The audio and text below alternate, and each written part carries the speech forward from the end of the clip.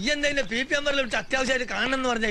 എന്റെ വന്ന സാഹിബിന് വീട് വലിപ്പം പോരാതായോ അതോ മൂപ്പര് വന്നേക്കന്നെ തിരിച്ചു പോയോ തിരിച്ചു പോവാ അതുകൊണ്ട് എന്ന് പറഞ്ഞത് മൂപ്പര് ഈ ജർമ്മൻ സിറ്റിസൺ ആയതുകൊണ്ട് പെട്ടെന്നായിട്ട് ചെല്ലാൻ പറഞ്ഞു പോയാ പിന്നെ ഒരു വർഷം കഴിഞ്ഞിട്ടേ വരൂ അതുകൊണ്ട് ഞങ്ങൾ വീട് വിട്ടുക അലഹമില്ല ഹൈർ ആശ്വാസായി കായ്ക്ക് കായുമായി പോക്കുവരും ഒന്നിച്ചായി അപ്പൊ എങ്ങനെയാ പരിപാടി താക്കോല് വാങ്ങാൻ ഞാൻ എപ്പോഴാ വരണ്ടേ താക്കോലിപ്പോണ് തരാം അല്ലടാ ആ പിന്നെ തന്ന ഇരുപത്തിയായിരത്തി ഒരു മാസം വാടക അയ്യായിരം എടുത്തിട്ട് ബാക്കി ഇരുപതിനായിരം ആ നിക്ക് നിക്ക് നിക്ക് ഏത് റൂട്ടിലേക്കാ വണ്ടി തിരിക്കണേന്ന് എനിക്കിപ്പോ മനസ്സിലായി ഈ നോക്കിയാ എന്നെ തിരുത്താൻ വരില്ലേ മാറിക്കാണ് അല്ലേക്ക ആ കാശ് കിട്ടിട്ട് വേണം കുറച്ച് പ്രശ്നങ്ങളുണ്ടേ അനക്ക് കുറച്ചല്ല പ്രശ്നങ്ങളുള്ളൂ എനിക്ക് കുറച്ചൊന്നല്ല പ്രശ്നങ്ങൾ അല്ലെങ്കിലും ചങ്ങായി അനക്ക് എങ്ങനെ പൈസ തിരിച്ചു തരാ നമ്മൾ തമ്മിലുള്ള അഗ്രിമെന്റ് അഞ്ച് മാസത്തേക്ക് ഇരുപത്തയ്യായിരം ഉറുപ്പ്യാന്നല്ലേ ആ അഞ്ച് മാസം ഇയാളുടെ സാഹചര്യം താമസിച്ചോ പിന്നെ ഒരു കാര്യം ഇവിടെ ഒരു വേണ്ട ഒരു പാറ്റ പറയാ ആ വിവരം ഞാൻ അറിയും ആ എന്റെ പൊന്നിക്ക ഈ കഷ്ടകാലം പിടിച്ചു നിൽക്കുന്ന നേരത്തെ ഇങ്ങനൊന്നും പറയല്ലേ ഞാൻ നിങ്ങളുടെ കാല് പിടിക്കാം നിങ്ങളെ പഠിച്ച സഹായിക്കും ഇന്ന പഠിത്തം പലവട്ടായിട്ട് സഹായിച്ചതാ നാലഞ്ച് പെൺകുട്ടികൾ ഒരു ഓലപ്പൊരെ മനസ്സിലായോ പിന്നെ ഈ എണ്ണ കാശ് മൊത്തം എന്റെ കയ്യിൽ നിന്ന് ചെലവായി പോയി അതുകൊണ്ട് നിങ്ങൾ അഞ്ചു മാസം തേച്ച് താമസിച്ച് താക്കൂലെന്നാ മതി അല്ല കാശ് നമുക്ക് വേണ്ട ഞാൻ പോവാ അല്ല ഈ എന്റെ കഞ്ഞിക്ക കുഞ്ഞിക്ക പിന്നെ എന്റെ അനിയൻ സാഹിബിനോട് ഞാൻ അന്വേഷിച്ചെന്ന് പറയും പിന്നെ ഒരു കാര്യം ഇവിടെ ഒരു പാട്ട് പറയാൻ ഞാൻ വിവരാണ് പടച്ച തമ്പുരാൻ എല്ലാം കൂടി ഇടിഞ്ഞു പോലും വീണ സൗണ്ടാണല്ലോ കേട്ടെ ഏത് അബൂജയിലാണ് ഞാൻ അറിയാതെ ഇതിന്റെ ഉള്ളിൽ ഏ ആരടാ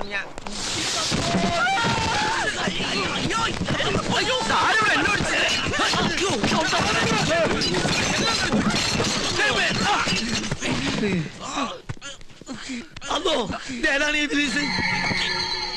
ഇതാണ് ജർമ്മനി ഇമ്പോർട്ട് ചെയ്ത ജീവി അതോ ഞാൻ വിചാരിച്ച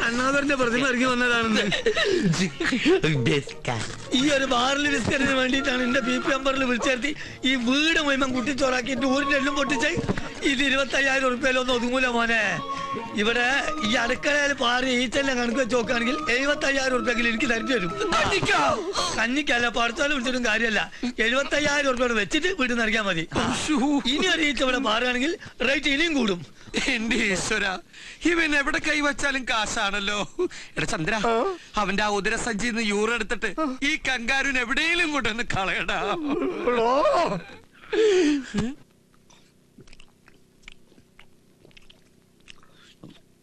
എടാ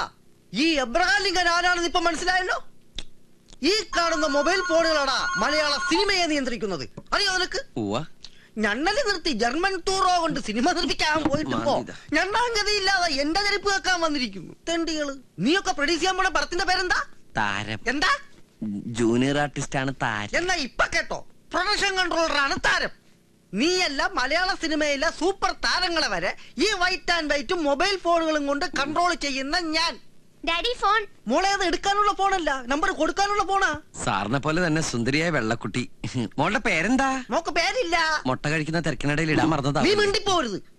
ആരെയാണ് അവിടെ ചില്ലിട്ട് വെച്ചിരിക്കുന്നത് എന്റെ കൂടെ ഒന്നൊരാ ജനലിന്റെ അപ്പുറത്താ ഓ നിന്റെ കയ്യിലിരിപ്പിതാണെങ്കിൽ അവരെ ശരിക്കും ചില്ലിട്ട് വെക്കേണ്ടി വരും സാറേ ഹായ് നിമ്മി നീ പോവരുത് ഇനി അങ്ങനെ ഒന്നും ഉണ്ടാവില്ല സാറ് ഞങ്ങളുടെ ദൈവ ഈ കുട്ടേട്ടന് ഇടയ്ക്ക് എങ്ങനെയാ ആരാ എന്താന്ന് നോക്കാതെ എന്തെങ്കിലുമൊക്കെ പറയും അത് ദേഷ്യം കൊണ്ടല്ല ഈ അപസ്മാരം പോലത്തെ രോഗമെന്നാ ഡോക്ടർമാര് പറയണത് ഡോക്ടർമാർക്ക് അപസ്മാരമായിട്ട് തോന്നും എനിക്കിത് അഹങ്കാരമായിട്ടാ തോന്നണത് ഈ അഹങ്കാരവും ഗൂർക്കമ്പലിയും ദൂരെ നിന്ന് നോക്കിയാൽ മനസ്സിലാവത്തില്ല അടുത്തിടെ പഴകുമ്പോഴേ മനസ്സിലാവൂ ദാ ചായ പാൽക്കഞ്ഞി കൽക്കണ്ട വിട്ടോടി അത് പ്രത്യേകിച്ച് പറയണോ ചായ ചേച്ചി ആ പ്ലീസ് ചേച്ചി ഞങ്ങളുടെ കാര്യം ഒന്ന് സാറിനോട് പറയോ ജീവിക്കാൻ വേറെ ഗതി ഇല്ലാത്തോണ്ടാ അതെ ചേച്ചി ചേച്ചിയും പണ്ട് ഇവളെ പോലെ ജൂനിയർ ആർട്ടിസ്റ്റ് ആയിട്ട് വന്നതല്ലേ അപ്പഴല്ലേ എംബോ അല്ല സോറി സാറ് കയറി മതി ഞങ്ങൾ പ്രേമിച്ചതും കല്യാണം കഴിച്ചതും അത് ഇനി നീ ഇവിടെ വിളമ്പി സൂചിപ്പിക്കണ്ട നീ ചേച്ചി പ്ലീസ് ചേച്ചി ഞങ്ങൾ കൈയോടെ എന്താ കുട്ടിയെ കാണിക്കുന്നത് പ്ലീസ് ഇച്ചയ ഈ പ്രാവശ്യത്തേക്ക് മാപ്പ് കൊടുത്തേക്ക് ഇനി അവരങ്ങനൊന്നും ചെയ്യില്ല ഇവറ്റകൾക്ക് മാപ്പ് കൊടുക്കണോ സോപ്പ് കൊടുക്കണോ ഞാൻ തീരുമാനിക്കും ഈ പ്രൊഡക്ഷൻ കൺട്രോളർ എപ്രകാരം ഞാൻ തീരുമാനിക്കും മനസ്സിലായോടി മനുഷ്യ കൺട്രോളിംഗ് കൊണ്ട് എന്റെ അടുത്ത് കുറച്ച് ചാടിയാലുണ്ടല്ലോ ഈ ആരോഗ്യം വെച്ച് നിങ്ങളുടെ കൺട്രോളിംഗ് എന്താണെന്ന് എനിക്ക് നന്നായിട്ട് അറിയാം ഇതുപോലുള്ള കൺട്രോളിംഗ് ഒക്കെ അങ്ങ് ലൊക്കേഷനിൽ മതി ഇവിടെ കൺട്രോൾ ചെയ്യണതേ ഞാനാ ആ ഞാനാ പറയുന്നത് നാളെ തന്നെ ഇവരെല്ലാരും തിരിച്ചെടുത്തേര് അത് ഞാൻ നിന്റെ അടുത്ത് അങ്ങോട്ട് പറയാൻ വരെയായിരുന്നു മതി ചെലച്ചത് നിങ്ങൾ എല്ലാവരും നേരെ ലൊക്കേഷനിലേക്ക് ചെല്ല് ജോലിയും കൂലിയും ഒക്കെ അവിടെ കാണും താങ്ക് യു താങ്ക് യു ചേച്ചി ചേച്ചിയാണ് മലയാള സിനിമയുടെ ഐശ്വര്യത്തിന്റെ ചേച്ചി എവിടെ ചേച്ചി ലൊക്കേഷൻ ലൊക്കേഷൻ പറഞ്ഞു കൊടുക്കും മനുഷ്യ പൊട്ടിത്തെറി പൊട്ടിത്തെറിയാ അതെ മാർക്കറ്റിലെ പൊട്ടിത്തെറി final rehearsal and take Baburaj Gypsy correct ആയിട്ട് ഓടിച്ച് പമ്പിനുള്ളിലേക്ക് വരണം ആ ഓക്കെ സാർ ഓക്കെ ഓക്കെ പമ്പിലേക്ക് ജിപ്സി കയറുന്നതും ബ്ലാസ്റ്റ് നടക്കണം റെഡി സാർ ബ്ലാസ്റ്റിനോടൊപ്പം ക്രൗഡ് ചിതറി ഓടണം ആക്ഷനിൽ തന്നെ ക്രൈൻ അപ്പ് ഓക്കെ ആകാശ് മോൻ ഇവിടെ തന്നെ ഇരിക്കണം കേട്ടോ ചേച്ചി ഷോട്ട് കഴിഞ്ഞ് ഇപ്പൊ വരാം മോനൊരു ഒരു പ്രശ്നം ഉണ്ടാക്കട്ടെ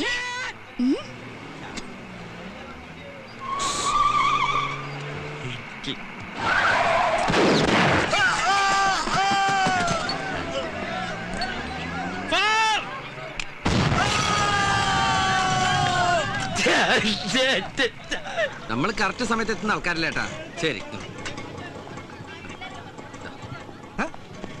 ഞാൻ തിരിച്ചു വിളിക്കാം ഏഴു മണി കോൾ ഷീറ്റിൽ ഇപ്പോഴാണോ കയറി വരുന്നത് അത് സാറേ ഇവനെ ആശുപത്രി നിന്ന് ഡിസ്ചാർജ് പൊട്ടിക്കുന്നത് ഇവിടെയല്ലേ അതിനു മുൻപ് ഇതാരും ഇവന്റെ തലയിലിട്ട് പൊട്ടിച്ചത് അതൊരു വലിയ കഥയാണ് കഥ എഴുതാന്ന് ഞാൻ എം ടിയോ ലോകദാസോ ദേ പിന്നൊരു കാര്യം പറഞ്ഞേക്കാം ഇന്നലെ എന്റെ വീട്ടിൽ നടന്ന പൊട്ടിത്തെറി ഇവിടെ എങ്ങാനും കൊണ്ട് വിളമ്പിയാ ഇല്ല സാറേ ഒരിക്കലും ഇല്ല നമ്മൾ കുടുംബക്കാരാകുമ്പോ പല നമ്മള് കുടുംബക്കാരാ പോടാ പോടാ ദൈവമേ ഇതെവിടെ എത്തിയ എന്റെ ആറ്റുകാൽ ഭാസ്കര അങ്ങനെ ഒരു ദൈവം ഇല്ല ഇത്തരം സന്ദർഭങ്ങളിൽ ഇല്ലാത്ത ദൈവത്തെ വരെ വിളിച്ചു പോകും എടി കൊയിരോളെ നീ എന്തിനാ എന്നെ കെട്ടിയെടുത്ത് ഞാനല്ല ആ സുന്ദരേട്ടനാ സുന്ദരേട്ടൻ ആ തെണ്ടിക്ക് ഇവിടുത്തെ നൂറ്റിയിരുപത്തഞ്ച് രൂപ ബാറ്റ് അവന് കാവലിരിക്കുന്നതിന് അവിടെ കൊടുക്കാൻ പറഞ്ഞല്ലേ എവിടെയാണ് ദാ പമ്പിന്റെ പുറകിൽ ഇരിപ്പുണ്ട് സാരില്ല ഇപ്പൊ ഞാൻ പറയണതൊക്കെ അനുസരിക്കുന്നുണ്ട് കണ്ടില്ലേ മിണ്ടാതിരിക്കണത് പാവം വായി നോക്കി നിൽക്കാതെ അങ്ങോട്ട് ഞാൻ ഈ സാർ എന്നാ ഈ തല വെക്കണ്ട വല്ല എരിമേരെ പോത്തിന്റെ ഈ ബോഡിക്ക് നന്നായിട്ട് പോയി ഞങ്ങൾ എന്തോ പ്രൊഡ്യൂസർ സാർ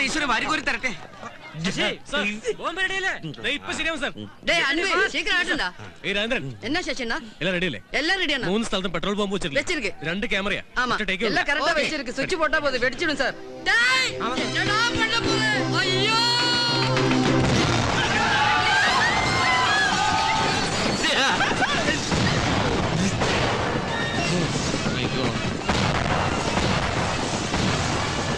ഭാഗ തൊട്ടിയ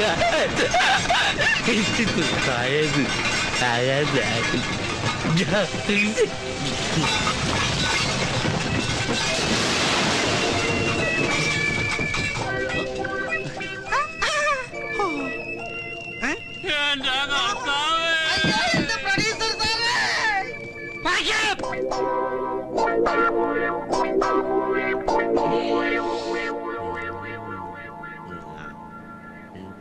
കഴുത്ത് വരെ പെരുമ്പാമ്പ് വിഴുങ്ങി അവന്റെ തലയിൽ ഹാന എന്ന് പറഞ്ഞ പോലെ നീ നിന്റെ തലയാണ് ഉദ്ദേശിച്ചത് അങ്ങനെ നന്നായിട്ട് ചിരിക്ക് ഒടുക്കത്തെ ചിരി കാണുമ്പോ എന്റെ പുന്നാരനിയായി ഈ ചേട്ടന് കുളിരു പോരുക മോനെ ആകാശ നിന്റെ ഈ ചിരി ഞങ്ങൾക്കൊരു ആവേശമോ പണിയും പോയി പട്ടിണി കിടക്കുമ്പോ നിന്റെ ഈ ചിരി പുഴുങ്ങി തിന്ന് ഞങ്ങക്ക് വയറിറക്കാല്ലേ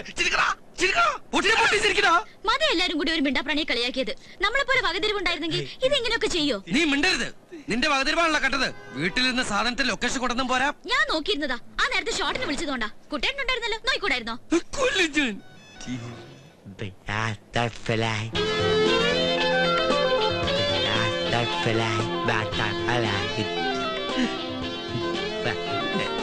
ബട്ടർഫ്ലൈ കൂടെ പറഞ്ഞങ്ങോട്ട് പൊക്കോ മര്യാദക്കിരുന്നല്ലേ ചുരുട്ടുകുട്ടി ചവിട്ടി പുറത്തെറിഞ്ഞ നിർത്തണുണ്ടോ കുറെ നേരായി കരിപുരണ്ട ജീവിതങ്ങളൊക്കെ ഇങ്ങോട്ട് ഇറങ്ങു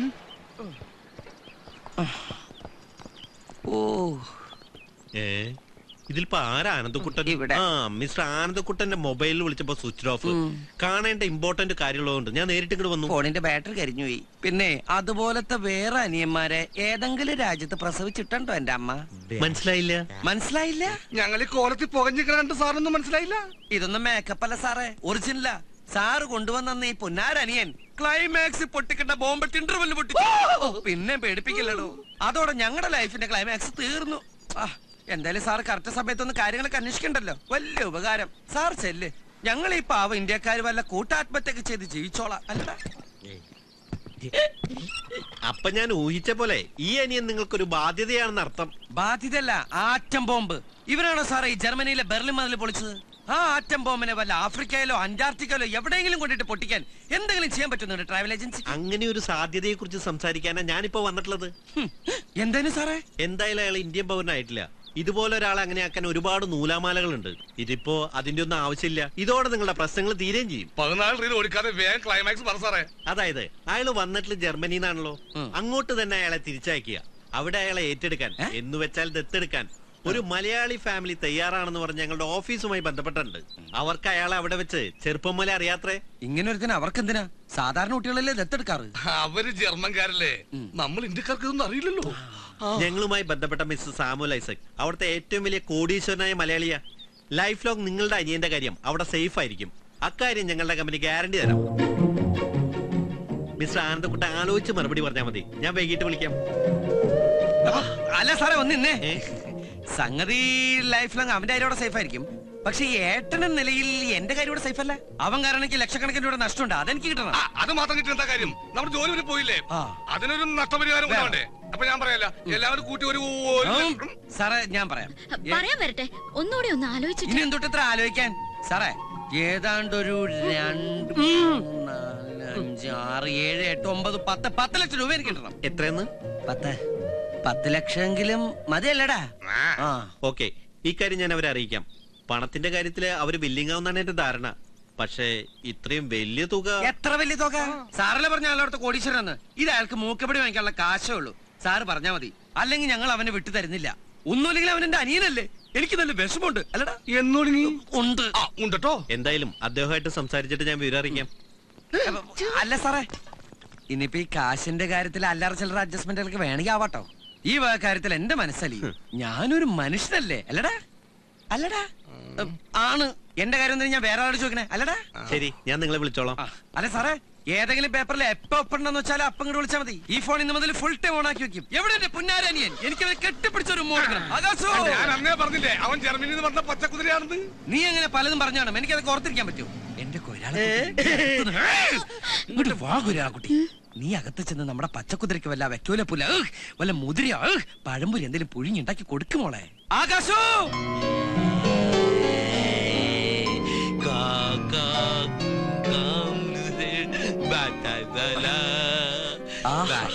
കേട്ടോടാ ഐശ്വര്യത്തിന്റെ സംഗീതം ഈ ശുദ്ധ സംഗീതം ശ്രമിച്ച് ഈ ജർമ്മൻ സംഗീത സാഗരത്തിൽ തീർത്ത് നമുക്ക് അല്പസമയം വിശ്രമിക്കാം ഏ Bye.